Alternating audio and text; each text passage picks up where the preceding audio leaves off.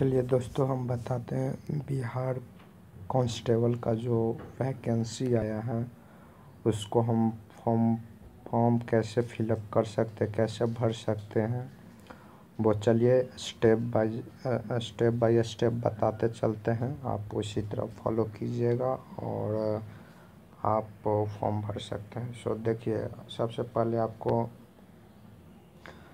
Site खोलना होगा। आप सरकारी रिज़ल्ट पर जाकर खोल लीजिएगा, ठीक? उसके बाद आपको एड डिस्प्ले होगा तो वहाँ पर आएगा click here for new registration.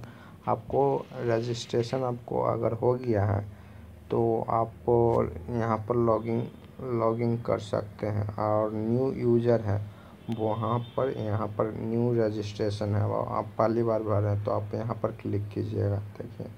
Click किए यहाँ पर तो ये ओपन हो गया। और, जितने भी हैं पोस्ट अप्लाइड फॉर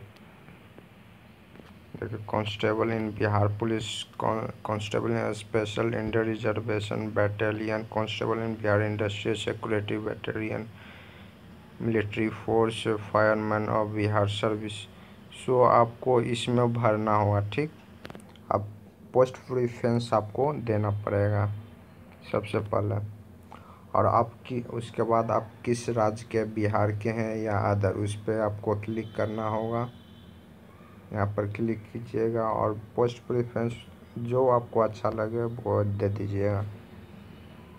उसके बाद कैटेगरी आप ओबीसी हैं या ईबीसी e हैं या बीसी हैं वो भर लीजिएगा और सर्टिफिकेट इशू जाति प्रमाण पत्र उसके बाद अब जेंडर है कि नहीं मेल फीमेल सब भर लीजिएगा और ईमेल आईडी सब भर लीजिएगा और सब भरने के बाद आपको सबमिट करना होगा।